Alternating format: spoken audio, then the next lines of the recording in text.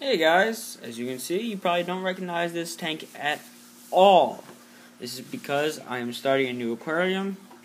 Um, I finally got the okay on one of my three attempts to get another aquarium besides my 28 in my house.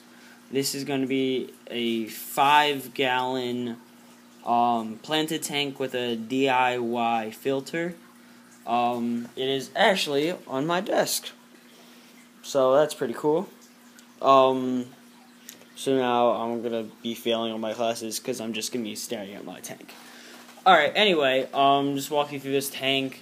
It's I don't have all the substrate yet. I need to get the dirt because it is gonna be a planted tank. But basically, I have sand right here. Um, I need to clean it up a little bit, but it's just gonna be like a trail. I kind of got an idea off of YouTube from the Green Machine, the store in England or Germany. I'm not sure which one. And um, one of their tanks had this sand idea with the trail and the plants on either side. And I really liked it. So um, I'm gonna copy their idea. Um, go check out Green Machine. They're really cool. Um, all their planted takes and everything. Uh, so this right here, all the, where the glass is, that's all gonna be. Um, it's all gonna be plants and everything. And I'm just gonna plant the crap out of this tank. Um, one, because I want to cover the filter, but two, because I want to not overstock the tank, but I want to have a lot of nice fish in here.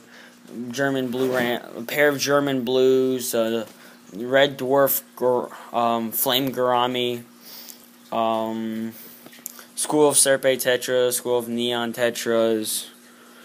Uh, what else? So yeah, big plans for this tank. Uh, to go into my DIY filter, basically anything you can find if you're if you love aquariums. So, or other animals. So the base is basically is just a mealworm container with slots in it so water can get up through the bottom. Uh, then the rest is just a bottle that I cut off the bottom and just slides perfectly on top. Then we got some filter floss. I think I took two large um, two inch by two by six inch sheets and cut them up into three pieces. So there's six pieces of filter floss in there, and it goes up to a carbon bag, and then goes out the top, as you can see by the water current.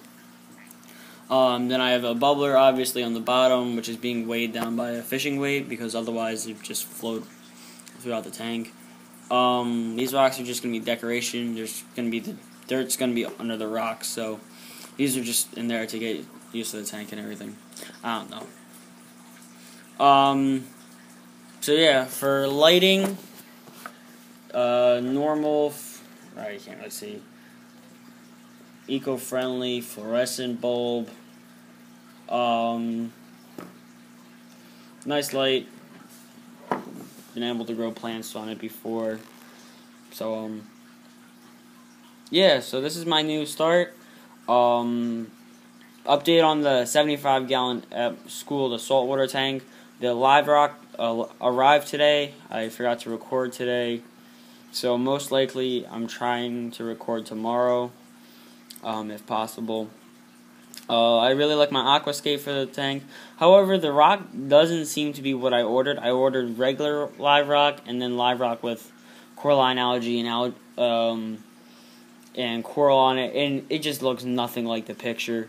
I can't even tell the difference between the ones that are supposed to have the coralline and uh, coral on it versus the regular ones. So, um, yeah, I don't know what's going on there, but it looks really nice. Um, we ordered the cleanup crew. I know it's a little early, but uh, we want to get this thing going.